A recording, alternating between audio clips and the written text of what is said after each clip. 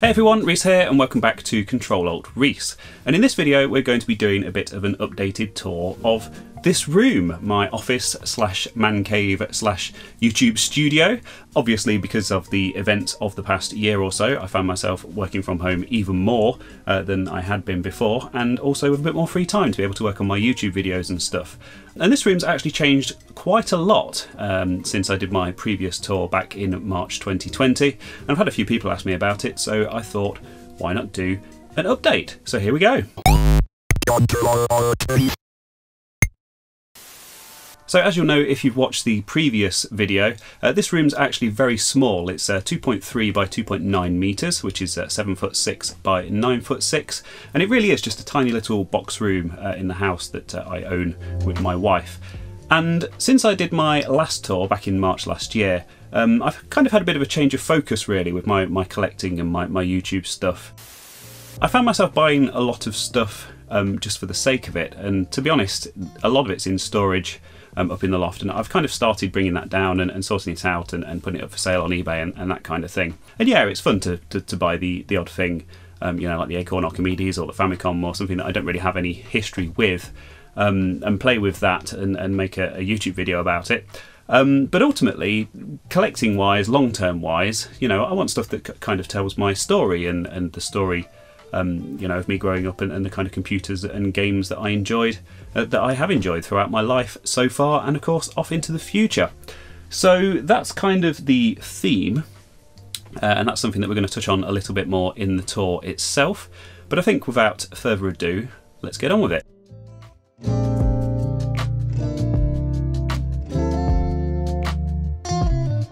So one thing that I did change completely back in August of last year was uh, my storage situation in here. I'm sure you haven't failed to notice the uh, industrial blue and orange racking that kind of dominates the room now. And also this shelving that I've put in at the back here. Uh, and I had my cubby holes, as I used to call them, on the walls before, which were just like some cheap Argos um, storage unit slash display unit type things. I've still got those, and you'll see that I've actually uh, adapted one of those into a, into a bit of a project and a bit of a storage thing, uh, which I thought was quite cool and quite interesting. And we'll have a look at that in a minute. Um, but of course, I thought the logical place to start would be here at the desk where I film my videos. So at the moment, I've got my STE set up. Uh, this is my actual childhood Atari STE. Uh, I got this for Christmas back in 1991 when I was seven years old. And uh, yeah, so it's kind of pretty much permanently set up on the desk here because it is probably the most important computer in my collection. Um, I also have the Discovery Extra, that's an actual um, Discovery Extra box there, which is the pack that I had as a kid. I also tracked down the original discs that came with it. Uh, and that box was very kindly donated to me by a viewer of the channel uh, and a patron of mine Woz. Uh, thank you very much, Woz. I know I've thanked you multiple times in multiple videos for that. Uh, but obviously, as you can see, it does have pride of place on the wall, and, and it is it is important to me. So uh, it's really nice to have that there as part of that display with that computer. Uh, the other obvious thing here, of course, is my video music clone. Of course, that doesn't live there. That's just the last project that I finished a couple of days ago. That's the last video that I put out. So that's a clone of the Atari Video Music, which is a, uh, a music visualizer from the 1970s that Atari made. So uh, yeah, you plug it into your hi-fi and into your TV, uh, play your uh, wacky psychedelic 70s music, and it makes wacky psychedelic 70s patterns appear on the screen. And just the other thing that we have in the PC spot here on the desk, as I like to call it, because this is where I tend to put the uh, PCs that I'm working on, uh, which is kind of the other big passion of mine other than Atari, we have the IBM 5162. Now, you'd be forgiven for thinking that this was an original uh, IBM 5150 PC, uh, but it's not. It's the 5162, which was actually a 286, so a uh, uh an AT class PC in an XT style case. Uh, it's known, also known as the XT Model 286. And this is going to be my next project, I think. Um, this has a 6MHz 286 CPU in it. But I want to strip this down. I've barely looked at this, to be honest, since it arrived. And I really want to do it just this and strip it down, um, build it up into a, a, kind of a 286 era gaming machine. Uh, see if I can overclock it. I know uh, Adrian Black has been doing some work very recently on a similar 5170. Unfortunately, it's not exactly the same motherboard, so I'm not sure if the same principles apply when it comes to overclocking and upgrading it. Uh, but yeah, it's a it's an AT class 286 machine, so it should be nice to work with. Uh, and it will be interesting to learn a bit more about the history of this computer as well, because obviously it's quite a quite a rare machine uh, and one that not a lot of people have heard of. I've also got my Model F keyboard here. This is the XT Model F keyboard that goes with my 5150. Unfortunately, it doesn't work with this computer. Um, I have it here because it looks the part, but um, I'm going to have to track down some kind of um, XT to AT adapter or something to be able to hook that up, or, or possibly even a, an AT version of the Model F. The Model F is the correct keyboard for this machine, um, so I'd really like to get one just because I like to have full sets of stuff that matches. So just very quickly we'll have a look at the back wall here and just a couple of things on here before we move on to the slightly more interesting stuff further up. Uh, so I have my uh, Sunnyvale Heavy Sixer Atari 2600, that's the original NTSC model, that's one of the first production run I imported that myself uh, from California. Uh, it's got a uh, UAV mod in it, which is a really cool video output mod. Uh, and I do use that all the time actually. That's a really nice, really nice machine uh, just to play on and, and, still holds up very well today. Uh, and kind of one of my favourite things, and one of the things I'm kind of most proud of in my collection. hence it has pride of place in on the back wall and in every single one of my videos. Uh, I've also got, uh, that's a Japanese laser disc there, obviously that's Alien. Um, I've got a bit of a collection of those. Uh, the plan originally was to have them kind of on the walls, um, on display um, in these kind of LP frames. Um, but to be honest, I don't have all that much wall space in here and it's kind of all been taken over by other stuff, as I'm sure you can see. So I had to compromise and just basically uh, pick one and just kind of occasionally rotate it. Uh, next to that, that is a Famicom Disk System poster. Obviously that's for Zelda uh, the original Famicom Disk System version. And uh, uh, Famicom games, as you'll see, is one of the things that I collect, and also the Disk System games. And the Disk System units themselves actually came with these game posters in the box. Uh, so that's an original one of those. Uh, just a couple of other things, a couple of uh, things for my fellow RMC Discord members instant MIDI upgrade stickers. That was uh, part of the RMC Secret Santa. That was my gift from Pillock. Thank you very much, Pillock. Uh, and also a nice picture from uh, Rich of uh, Elmo and a uh, Christmas elf. And uh, yeah, that's, that's also me in that picture. so thank you very much, Rich. And you'll see that actually came as part of a donation to the channel, which I'll show you slightly later on in this video. So let's move up to the next level up and see what we have up here.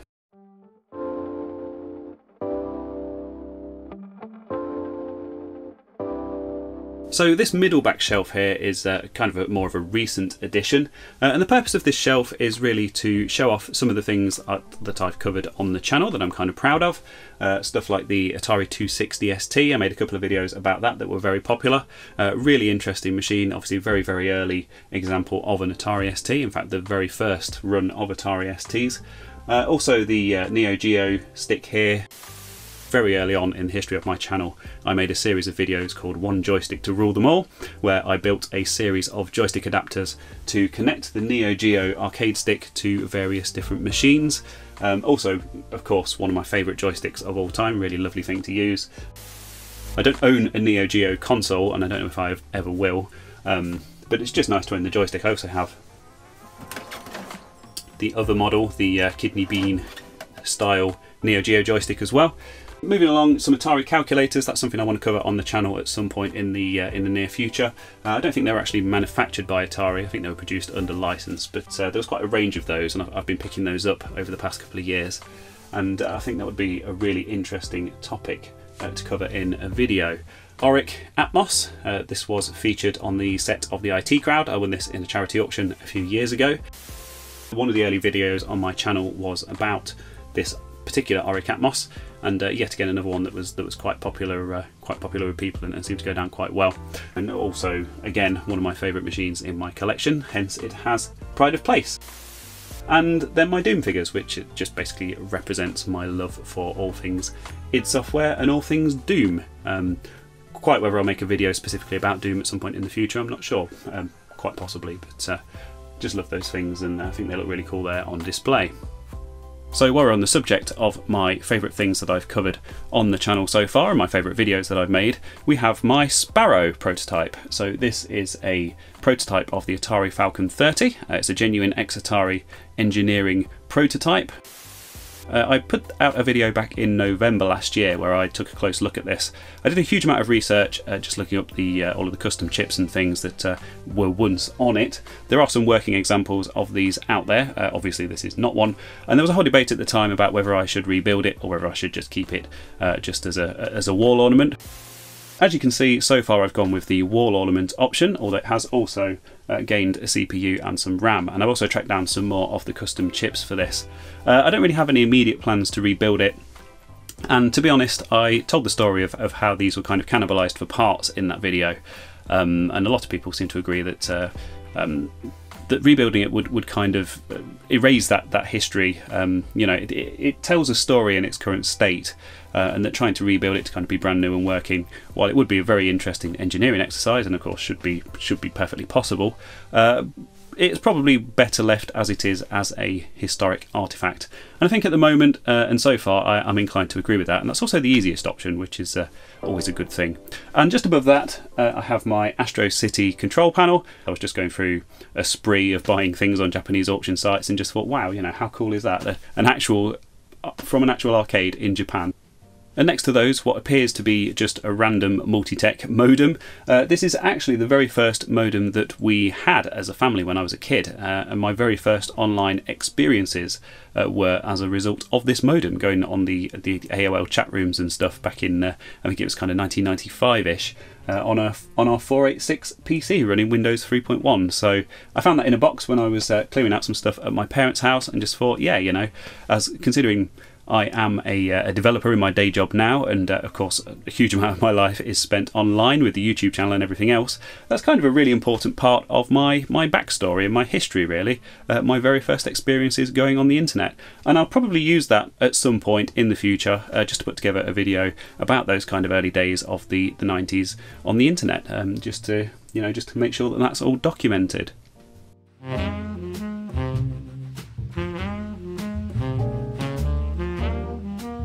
The idea with this shelf was that this was going to be in shot in my actual videos. The trouble is, with it being such a small room and with the lens on my phone not being a particularly wide, uh, particularly wide field of view, uh, this stuff just doesn't fit in the shot, so uh, you never get to see it.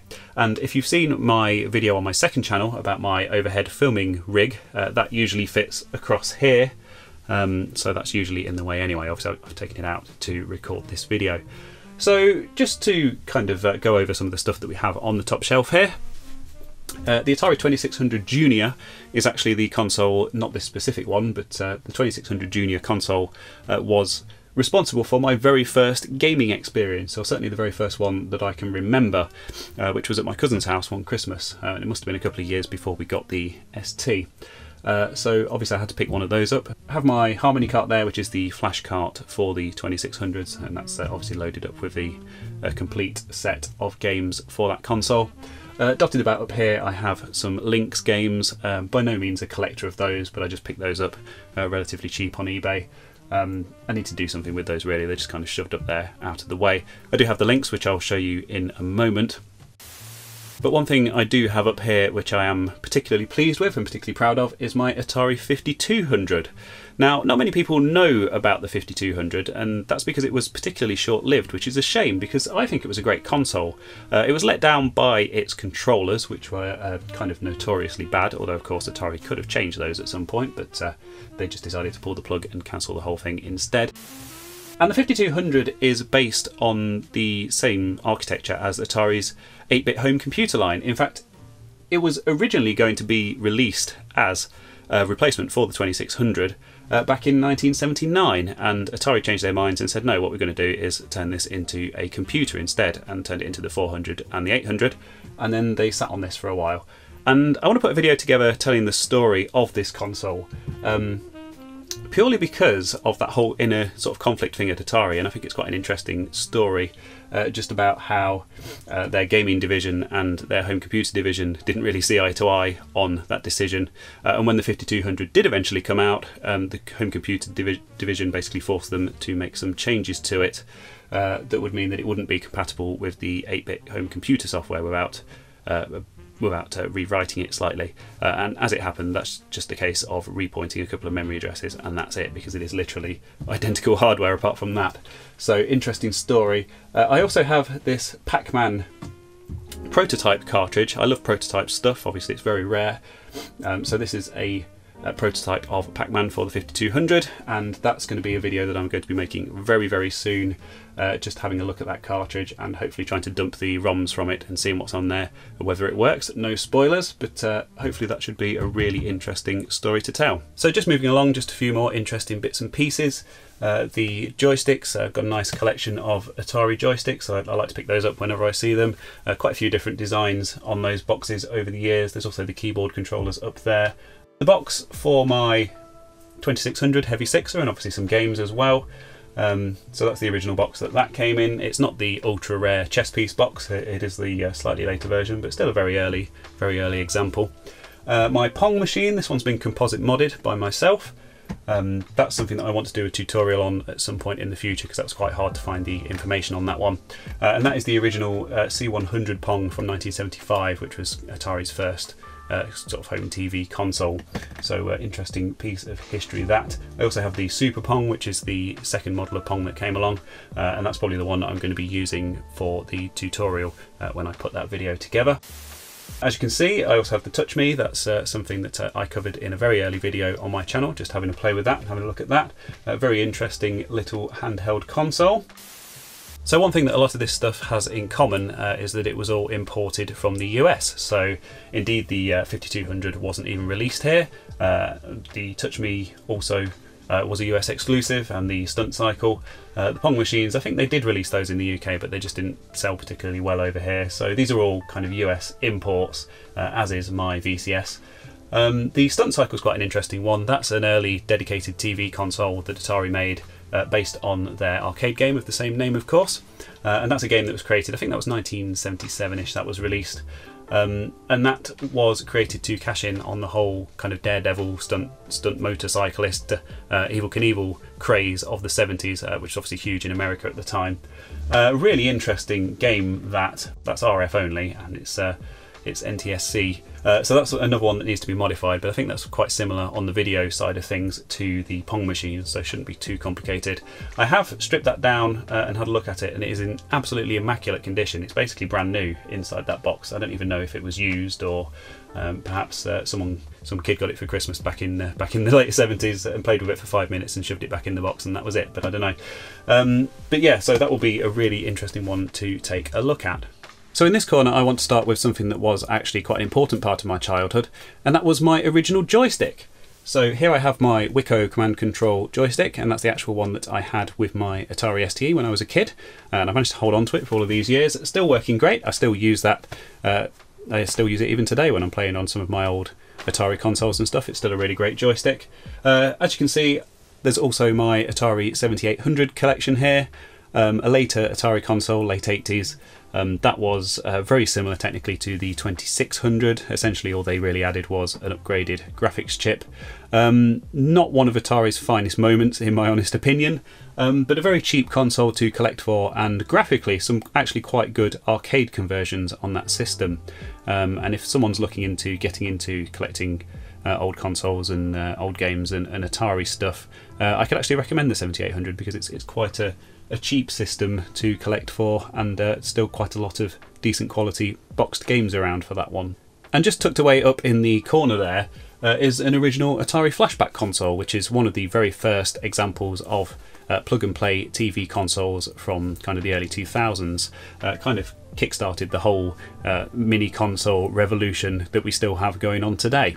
And the interesting thing about that is that uh, it's not even based on the 2600. Uh, it's actually a, a, NES on a chip or NES on a chip, uh, Nintendo compatible console, and uh, it, it, was somebody's job to port all of the original 2600 games. Or at least the uh, 20 that they have preloaded on this console uh, to the NES, just so they could have versions that would run on that. Um, I wanted to go over that. That is something that I did actually specifically buy for the channel, and I wanted to go over that and uh, just compare the games to the originals and see you know how similar or different they are. Uh, and it's just something that I haven't got around to yet.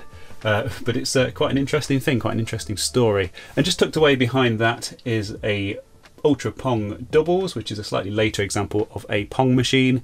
Uh, this one I bought um, boxed without really uh, seeing what the condition was like, but it had quite severe battery damage. Uh, in fact, the original uh, early 80s batteries were still inside it when I got it, and uh, the motherboard was, was incredibly badly corroded. So I'm not sure if that's repairable or if I need to find another one of those that I can strip down uh, so I can use the, the motherboard from that. But that, that project's kind of on hold at the moment. Just to round this off, we've got the XEGS here, which is uh, Atari's consoleized version of their 8 bit computer line. Uh, I also have another one of those on display on the shelf, which I'll show you shortly. Um, but really great console that I love the styling on it, and it also came with a light gun, which was very cool.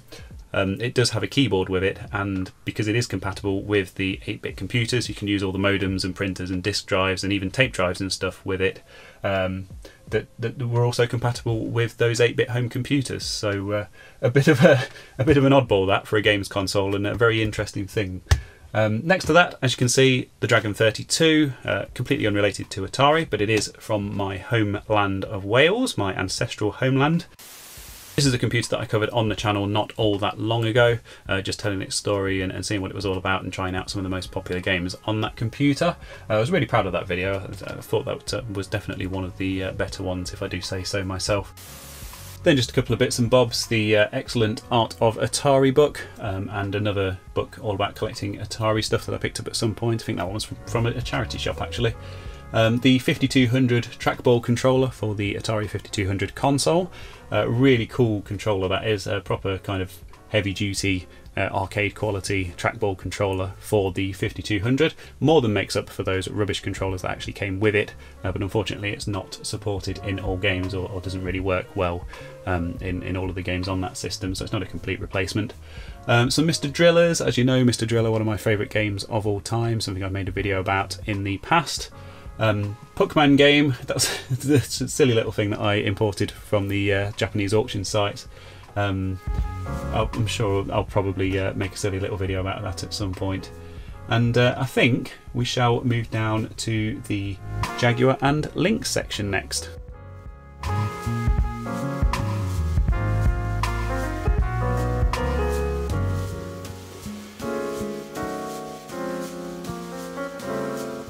So just framing this section are these wonderful Atari Hot Wheels cars. Um, I have no idea why I put these here. It was a very stupid decision because they're right next to the desk and I am constantly hitting them with my elbows and a few of these have even been knocked off the cardboard backing a few times and had to be glued back together. Uh, thankfully you can't really see that they've been repaired but uh, I should probably find a safer spot for those. But the main focus here really is the Jaguar or the Jaguar if you prefer. Uh, which was the last ever console that Atari released, of course, back in 1993 and uh, this was kind of this kind of means a lot to me because I saw it advertised in the Atari ST magazines a lot when I was a kid. Uh, obviously, we got our ST in '91, and this was uh, released in '93, so it, there's there's that overlap there. And I really, really wanted one as a kid because the marketing really pushed it heavily as uh, you know the next big thing, and this revolution in 3D and, and, VR gaming was kind of the, the buzzword of the day. They did actually make a, a VR headset for this, um, although there's only a couple of them in existence. Uh, they're basically prototypes. Um, but would be a very cool thing to own. Um, obviously, uh, bucket list kind of stuff. But um, yeah, as well as as well as being a console that I always wanted as a kid.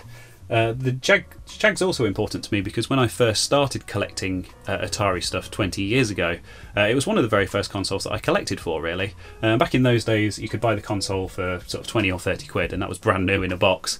Uh, and you could buy the games for like two or three quid, um, sealed brand new in boxes. And so I picked up quite a lot of them, and people bought me them as presents and, and all sorts of stuff.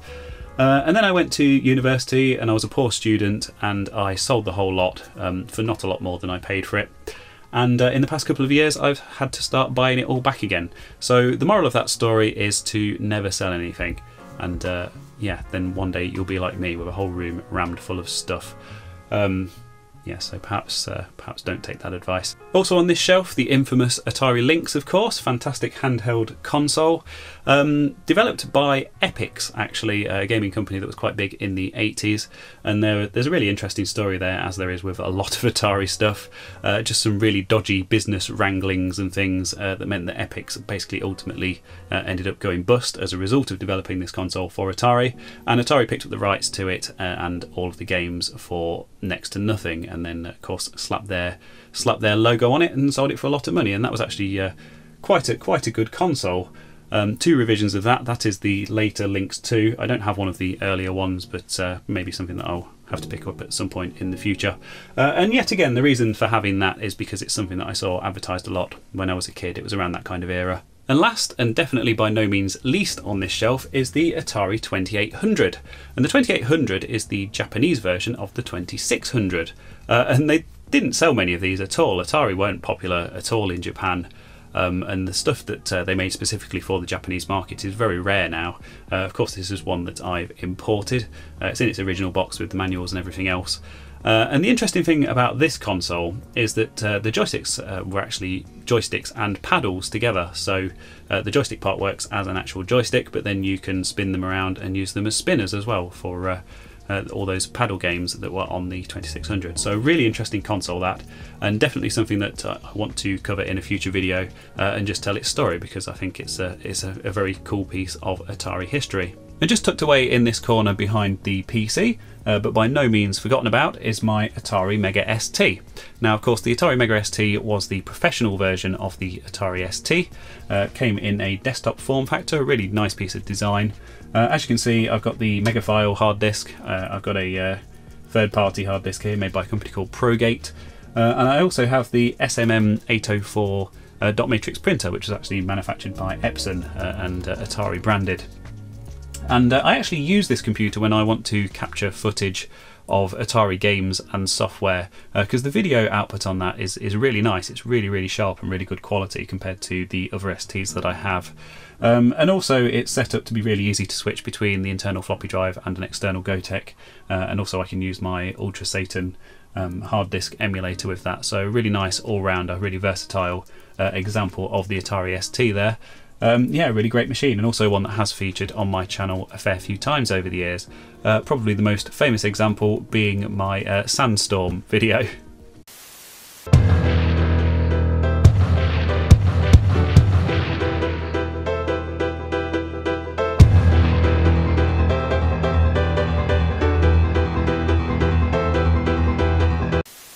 So, another system that has some personal connection for me, and another system that I collect for, uh, of course, is the original Xbox, as I very briefly mentioned earlier. And this is my actual Crystal Xbox that I got uh, back in 2004 ish. Uh, my girlfriend at the time, who's actually now my wife, uh, bought this for me uh, for Christmas, which was uh, very, very kind of her. Thank you very much. Um, and yeah, so most of the games that I have here for the original Xbox were actually my originals that I owned back in the day. Uh, the only extras that I've picked up really are the launch lineup, the PAL, PAL uh, launch lineup from here in the UK. So any of those games that were released in the first week of the Xbox's launch specifically bought those because I want to cover those in a video, um, like a lot of the stuff I have here.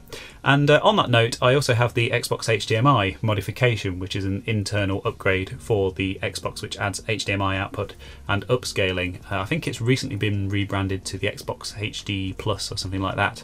Um, but that's also something that I'm going to cover at the same time. Um, and of course, a fantastic excuse to get back into the original Xbox and revisit some of those games that I used to play in my kind of college and university years. So, uh, very much looking forward to putting that one together. Now, the other thing that I'm sure you've spotted uh, just in these lovely custom shelves that I made from the remains of my old cubby holes uh, of my big box PC games. And uh, a lot of these games are, well, most of these games, in fact, are games that I played uh, growing up back in the day. So they're all kind of uh, 90s and, and, very early 2000s kind of titles when I was into PC gaming. They're not my originals, uh, I should say. Um, unfortunately, uh, although I do have a lot of the original CDs and stuff from those days, uh, we'd never held on to any of the boxes. Uh, with that said, I think Ultimate Doom, I have two copies of that um, because I bought one a few years back and then actually found my original one. Uh, and I think Quake is also that's also my original one from uh, brand new. But apart from that, uh, like I say, it's all stuff that's kind of been rebought to try to uh, relive that experience. The exception to that, and one thing that I really wanted to point out in this video, uh, and just give a really big shout out to someone because I haven't actually acknowledged it on video yet, uh, which is really bad of me because I, I, like to uh, I like to at least thank people personally in my videos for any donations to the channel and that kind of stuff. Um, so yeah, one thing that I really wanted to mention in this video uh, were the Screamer games, which were incredibly kindly donated to me uh, by my good friend Rich. Uh, so thank you very much, Rich, for those. That's really, really, really generous of you. Um, I covered the original one in my S3 ViRGE video. Um, and then off the back of that, um, we had a bit of a conversation about how I'd never played the Screamer games before, and he said, you know, uh, some of the best examples of DOS racing games, which of course I have since discovered and uh, since come to appreciate. So, my big box PC games, and uh, pretty much the story of my teenage years laid bare there uh, for all to see on that shelf, uh, and a really nice uh, nostalgic reminder for me as well. On the next shelf down here, uh, pretty much the same story as per the PC games. I have my Atari ST games, and yet again, most of these aren't my originals from back in the day. a few of them are, but they're basically a representation of some of my favourite games on that system. Uh, back in the day, of course, um, perhaps uh, not all of the games that I had were legitimate, shall we say. Uh, some of them were on uh, menu discs and stuff like that, uh, as was very common with those home 16-bit computers at the time, like the Atari, Atari ST and the Amiga. Um, but now I'm atoning for my sins by buying them all back. Of course, the original publishers won't get a single penny from all of these second-hand eBay sales, uh, but it will help me to sleep at night if I keep telling myself that. Uh, so just a few personal favourites here. Uh, I've got the complete collection of Bitmap Brothers games, um, Magic Pockets, Gods, uh, the Xenon games, Chaos Engine, Speedball 1 and 2. I've also started picking up the Dizzy games, of course, uh, really great games on those 8 bit and 16 bit machines. Uh, Treasure Island Dizzy was a particular favourite of mine when I was a kid. Uh, in fact, I don't think I really played the others at the time. Um, so it's been really great to pick up that series on the ST. You don't really see these for sale all that often. Uh, the boxes are quite small and kind of fragile and uh, just uh, not very common games to come across, so it's always nice to pick one of those up when I see them. I remember them actually selling these at Toys R Us, uh, and uh, my dad occasionally taking me to Toys R Us and, and, kind of picking them up. And the great thing about these games at the time is that they were kind of slightly older games uh, that were being sold for a little bit cheaper, so uh, I could spend my pocket money on them. And uh, that's the way I experienced a lot of the uh, the legitimate games that I owned on the ST. through that budget label, so that's another thing that there's very very little interest in collecting, and uh, when you do see them for sale, people just basically can't give them away. But uh, to me, they actually have a lot of nostalgia value. And then just a few more games here on the end, just yet again representing some of my childhood favourites. So we've got Nine Lives, Batman, uh, Escape from the Planet of the Robot Monsters, and Ghostbusters 2, um, and uh, Rainbow Island, Sim City. Uh, and a few others. And uh, yet again, all of those games are, are kind of hand-picked because they're games that I enjoyed as a kid. So now just moving on to my little acorn corner here, uh, and we have a BBC Micro. I think it's probably the most obvious uh, thing I have here in this corner. Uh, and this machine is something that will be very familiar to British people of a particular age, uh, because for a lot of us, it was our very first experience of using a computer because they were in British primary schools uh, throughout the 80s, and actually, a lot of primary schools actually held on to them later on into the 90s as well. Um, but really fantastic 8-bit machine, uh, uses the 6502 CPU, same as the Atari 8-bit computers, uh, the Commodore 64. Uh, really uh, well designed, lots of input and output op options and uh, peripherals and stuff like that. Also, very graphically capable computer for its day. So, really nice to own an example of one of those, not just because it's a great machine, but also because of that historical aspect as well. I also have uh, an Acorn Electron, which is tucked away up here. This is another one that's very important to me. Um, and these two are actually compatible with each other um, to some extent. Uh, the Acorn Electron was essentially kind of the cut down home version of the BBC Micro uh, and was the very first computer that we ever owned uh, as a family. Uh, so some of my first kind of text adventure experiences and, and, and, gaming and that kind of stuff was actually on the Acorn Electron. Uh, and to represent that, I have a bit of a collection here of the Acornsoft games. Uh, a lot of these, uh, Boxer and um, Sphinx Adventure and, and, stuff like that, are games. Starship Command was another favourite when I was when I was very young. Uh, you know, they're examples of games that I played as a kid, so it's really nice to have those. Uh, of course, Elite, fantastic title. Uh, that one actually passed me by back in the day. Uh, to be fair, I was probably a bit too young for it anyway. Um, but yeah, Elite, a really legendary game on the BBC. Uh, so nice boxed example of that as well. And the other thing I have here, of course, is the Acorn Archimedes. And this is the A305, which was the very first Acorn Archimedes. And it was the very first computer to use an ARM CPU. And this was released back in 1987. And Acorn actually invented the ARM uh, CPU. Of course, it originally stood for uh, Acorn RISC Machine. And it's the CPU that's now in your mobile phone and in um, all sorts of different things. The new Apple Silicon, uh, Apple laptops and stuff are using a CPU that was derived essentially from the CPU in this machine back in 1987. Uh, so, really, really revolutionary machine, this, and something that um, unfortunately I don't really have a personal connection to. And to be fair, I think I've probably um, gone as far as I can with it. Uh, as far as restoring and upgrading and playing with it is concerned. And it's probably one that's going to be sold very soon, um, just to make some more room in here for the kind of stuff that uh, I do have a bit more of a personal connection to, uh, which is kind of, uh, like I said earlier, the theme that I'm kind of working towards. So, uh, yes, if you uh, know anyone who wants to buy a very heavily upgraded original Archimedes, uh, get in touch and maybe we can do a deal. Also, have some nice magazines here obviously RISC User Magazine and Archive, which were both magazines uh, dedicated to the Archimedes. Uh, and just a few examples here of some of the kind of the games on the system. I just bought these really to demo it and show it off for the videos that I made on it. Um, but yeah, some of the best versions of those games, in my opinion. Um, obviously, the uh, Archimedes was a much more capable machine than the Atari ST or even the Amiga. Um, so good to uh, good to show those off uh, in all their glory. And now to the complete opposite side of the world for my Famicom collection. Now, if you see my previous tour video that I did back in March last year, um, I had a lot more Famicom stuff than this. Um, I had uh, pretty much a whole wall dedicated to it, and I've really thinned this out a lot. And the reason for that is um, on the Japanese auction sites, you can pick up these boxed Famicom games for not a lot of money at all. Obviously, the shipping uh, is something that you have to take into account. Um, but the fact of the matter is, obviously, if you're buying kind of lots and lots of them, um, the shipping kind of averages out over all of them, and they still end up being very cheap. So I bought a lot of them um, just for the sake of it, just because I hadn't really had any experience of the uh, NES or, or the Famicom, of course. And uh, it was just a console that I wanted to kind of experience and, and have that proper authentic experience. And I knew that uh, if I did import those games, that uh, I'd be able to sell them on, and, and I have since sold them on. Um, so I thought, why not? Let's uh, let's import a load of Famicom stuff. Uh, I also used to do composite mods on these and sell them on eBay. And I do still have a few uh, in the loft uh, that I really need to sort out and finish modding uh, and just get moved on. Um, there's also a guide to that on my website, which is uh, by far the most popular page on my website as well. Um, but I have quite a few interesting Famicom items here. So I've got the original Power Glove.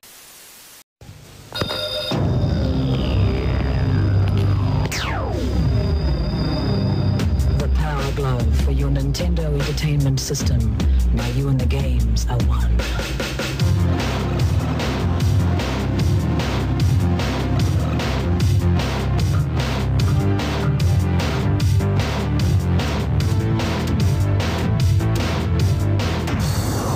Power Glove. Everything else is child's play. I've got the data recorder and the family basic. Uh, so you could actually turn the console into basically an 8-bit home computer uh, and do some programming on it and uh, save that to cassette, uh, which is uh, something that didn't make it to the NES in the West.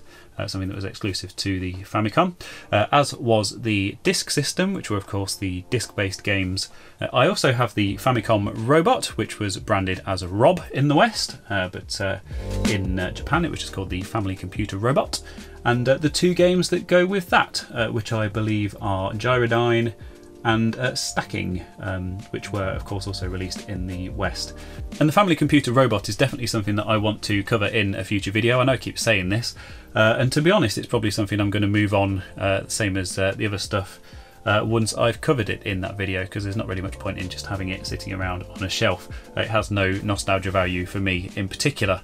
Uh, but again, uh, it's something that I bought with the channel in mind and something that uh, I think would make for a really interesting video. So definitely want to cover that at some point. There's also the gun, uh, the light gun, and the story that goes with that, uh, the huge pain that it was to import that, and how the uh, Japanese auction site service that I use uh, decided that it was an imitation firearm and uh, refused to export it from Japan until I argued with them quite a lot. Uh, but thankfully, it did eventually arrive.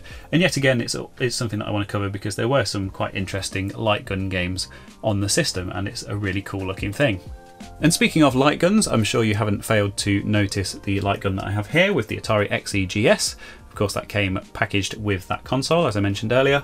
Uh, and the really interesting thing about this kind of little display here is that uh, this is the computer that kind of started it all for Atari as far as their home computer division is concerned. Uh, so, released in 1979, this is the Atari 800. Uh, it was released alongside the 400, which had the uh, not so good membrane keyboard. Uh, and I just have some examples of some of the accessories for this system here. So I've got the original cassette uh, cassette player, which is the Atari 410, uh, the 810 five and a quarter inch disc drive, uh, the trackball for it. Uh, that was a very kind gift to me from uh, Neil at RMC uh, when I went to visit him last year in his in his cave in his YouTube studio. this touchpad thing, which is completely useless to me, but I just thought it was really cool and it was quite cheap. So I've also got a bit of a collection of the games and the cartridges for this machine.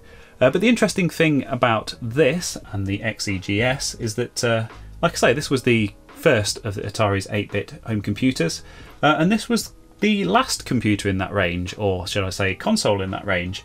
Um, or, because although it does have a keyboard, it was very much marketed as a console, uh, but it ran all of the Atari 8 bit home uh, conversions of uh, all of those cool arcade games and stuff. So yeah, a bit of a, a slice of history there and uh, an interesting couple of examples of Atari 8 bit machines. And so, moving down to the bottom shelf now, we have PCs. Lots and lots of PCs, as I'm sure you can see. Uh, and we got our first family PC in 1994, and it was a 486 uh, DX266. Uh, and shortly after that, it was upgraded to a DX4 100.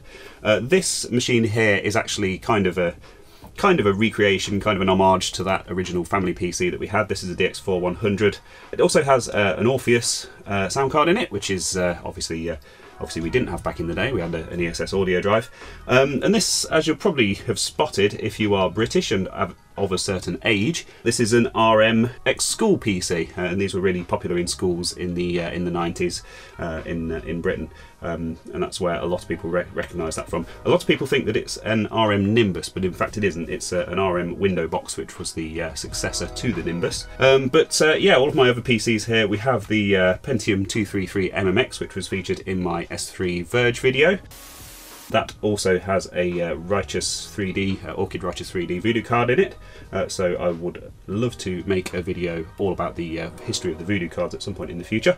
Uh, and in fact, I actually recently found my old Voodoo 3 um, from when I was a teenager. So uh, it would be interesting to interesting to cover that, I think. Next to that, uh, we have the uh, Pentium 4 NetVista, which I won in the uh, RMC charity auction last year. A really cool PC this. I've quite heavily upgraded this since I got it. Uh, it's kind of a very similar spec now to uh, the first PC that I built with my own money um, back when I was at college. So it's a Pentium 4, 2.8 gigahertz. Um, it's got a uh, GeForce FX 5700 card. Just next to that, um, we've got all the accessories for the NetVista. That's a nice early example of a, an IBM TFT screen there. And of course, the infamous set of speakers, the 2.1 speakers made by the Jazz Hipster Corporation. Uh, next to that, another IBM, of course, the iconic IBM 5150, which was the first ever DOS PC, uh, released in 1981. I made a couple of videos about that on my channel. Uh, that's quite heavily upgraded. I also have a has a uh, an overclocking solution in it called the PC Sprint, which I also uh, made a video about. Uh, links will be down in the description for any other videos that I mention in this particular tour if you're interested. And then, of course, the RM monitor, which goes with the RM machine. And next to that is something that hasn't really been featured on my channel or anywhere yet, and that is a Slot A Athlon 650 machine. Uh, and that again is a, an actual ex uh, family PC of ours, which I, I, rescued from my parents' loft. um, and it's uh, it's yeah it's an Athlon 650 um, megahertz. It's the Slot A. Uh, it's a Thunderbird uh, processor. And uh, I think it would be interesting to make a video at some point in the future about the uh, the history of the, the kind of the slot processors, and, and, and obviously uh, Intel had the slot one, and, and, Athlon had the slot A, and that kind of interesting period in history, uh, and how that came about, and, and, and why. Um, so you never know, that might be appearing at some point. Uh, that's kind of a uh, obviously like a Half-Life, Deus Ex kind of era machine, which is absolutely right up my street. My era. Um, fantastic little machine that, so it will be interesting to cover it at some point in the future. Over to this side of the room now, and if you watched my previous tour last year, uh, these are what I used to refer to as my Atari shelves, and basically because I had my complete Atari collection out on display. Um, as you can probably tell, it's uh, kind of outgrown this area now, so uh, this, this has been used uh, just as storage until quite recently. I had a load of tools and just a load of mess on here. Uh, finally decided to sort it out, which is kind of what prompted the uh, recording of this updated tour. Um, so we'll start with the bottom shelf. Uh, here we have the uh, Dreamcast, of course, uh, iconic console by Sega. And um, I didn't actually have a Dreamcast uh, back when they were brand brand new. I had a couple of friends who had them, uh, and I played on them quite a lot. Um, but because I was basically always around their houses, I just uh, just basically didn't splash out on one because it didn't really seem worth having my own. so this is my actual one from back in the day that I picked up when the Dreamcast was discontinued, and they were actually selling the stuff off pretty cheap. Um, and a few of these games are mine. Obviously, I borrowed a lot of games back in the day, and also uh, it was very easy to play copied games on the Dreamcast. Um, so I don't have a huge amount of them. Some of them are, are mine that I picked up uh, at the time when they were when they were cheap. Uh, some of them are games that uh, a friend of mine basically uh, donated to me. Uh, when he sold his Dreamcast off. So, fantastic console, one of my favourites of all time. Not really sure what the longer term plan is for this. Uh, it's let down a little bit by the uh, the video output, but then of course there are modern day upgrades uh, as per the Xbox, uh, where you can add the HDMI and stuff like that to it. So perhaps a potential future project there. It does have a GDEMU in it, which is a um, an SD card interface that allows you to load games from SD card, uh, which is how I use it nowadays. Obviously, those old drives are kind of starting to fail now, so uh, it's fantastic to have that as a nice, reliable, modern option. So just moving up to the next shelf, uh, there's something here that you might be a little bit surprised to see, uh, knowing that I'm kind of into my more uh, retro stuff and original hardware, and that is the Evercade. Now, this is something that I, I resisted for the longest time because I just thought I just thought it seemed really gimmicky and a bit pointless. Um, and I was also a bit suspicious that uh, a lot of big YouTubers seemed to suddenly uh, have these land in their laps and uh, suddenly started putting out glowing reviews of it. So yeah, I resisted it for the longest time, but after having spoken to a few people that actually own them, I, I kind of started to warm to the idea.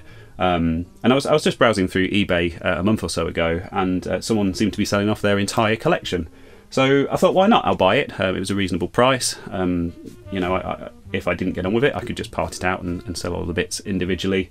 Um, and uh, probably easily make my money back and maybe even make a bit of profit as well. So uh, it seemed like quite a low risk way of trying it out. And actually, I have to say, I've been really impressed with this, and I'm going to be doing a proper review on this pretty soon. Um, if you're not familiar with the Evercade, uh, it's made by a British company called Blaze. It was released uh, last year, and it's uh, basically collections, curated collections of games on cartridge. So each of these cartridges will have um, kind of four or five or maybe up to ten games on them. And uh, you've got a good mixture here of arcade classics from the likes of Namco and Atari and uh, some of the big names in the arcade uh, industry. Uh, you've also got uh, more recently Worms. There's a Worms collection. I think that was the most recent cartridge to come out. So uh, I actually bought the latest two cartridges brand new. And uh, it's an emulator, so it's an ARM based uh, handheld. Um, it just runs a version of Linux, I think.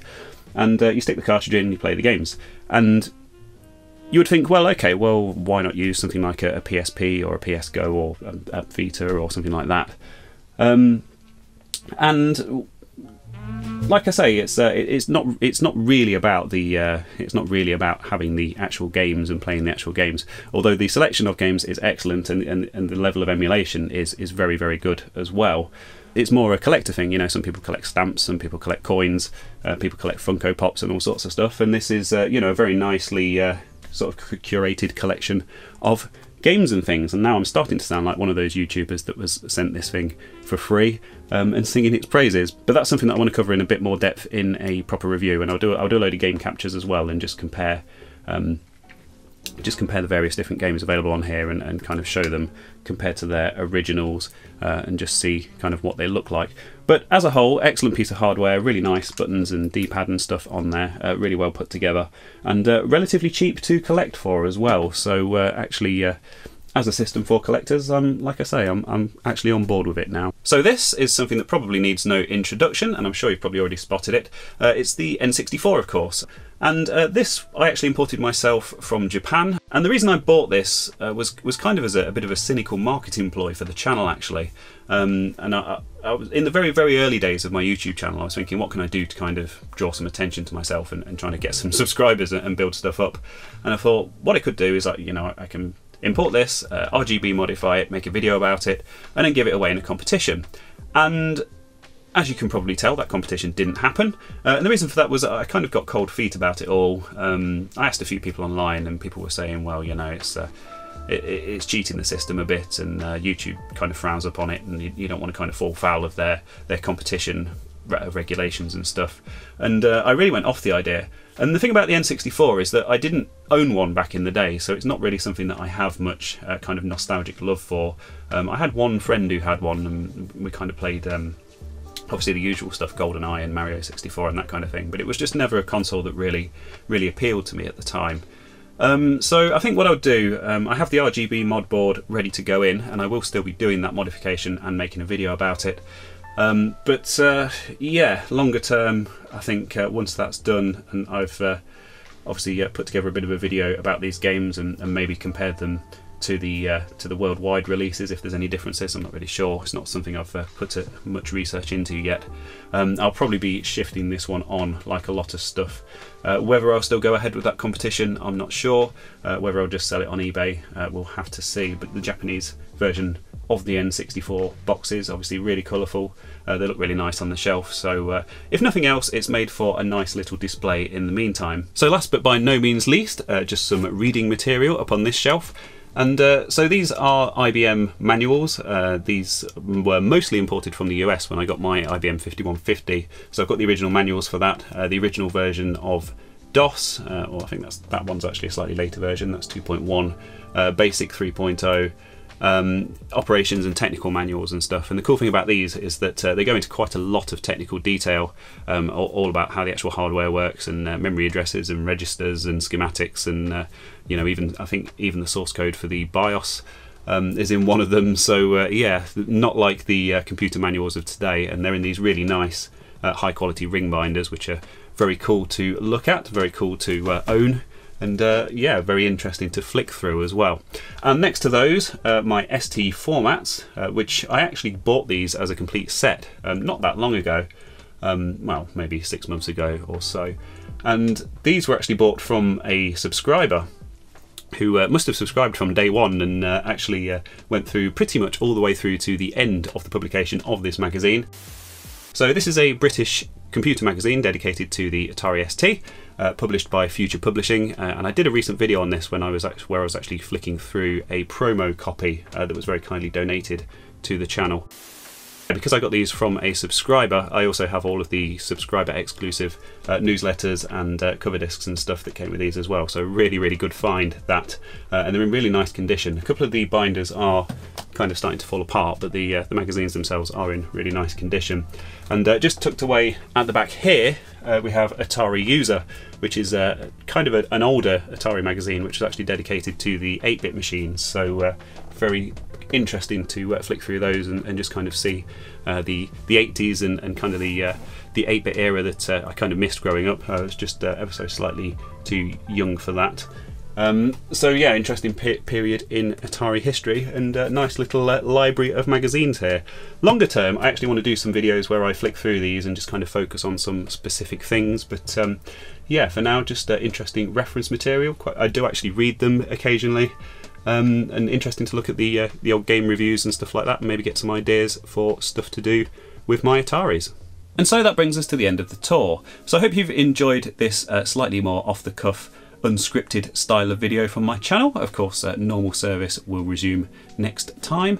Um, if you've seen anything at all that's piqued your interest, or uh, anything that you have any questions about, or maybe suggestions on how I can cover some stuff uh, in some future videos, like I've suggested, uh, I would very much appreciate that feedback. I do read every single comment on my videos, and I do re- reply to the, the vast majority of them as well, um, if they're uh, if they're positive anyway. And uh, yeah, so if you enjoyed this, uh, please do give it a thumbs up. It really helps me to grow the channel and improve the visibility of my videos. If you're not subscribed already and you want to see retro gaming, vintage computing, and electronics stuff from me, please do hit that subscribe button so you don't miss out on that. So finally, uh, all that's left is to thank you very much for watching, as always, and I'll see you again next time.